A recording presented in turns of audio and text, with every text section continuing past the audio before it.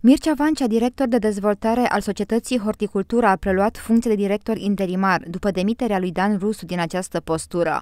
Vă reamintim că Consiliul de Administrație al societății a decis în ședința din data de 4 martie să încheie colaborarea cu Dan Rusu. Potrivit unui comunicat de presă, această decizie vine în urma viziunilor diferite de abordare a managementului societății, respectiv a planurilor de dezvoltare strategică, care necesită un management financiar și operațional diferit. Societatea Horticultura S ESA oferă servicii de amenajări peisagistice și îngrijirea zonelor centrale aflate în administrare, de curățenie în spațiile dedicate de administrarea celor două cimitire aflate în subordine și își dorește să continue să dezvolte această gamă de servicii.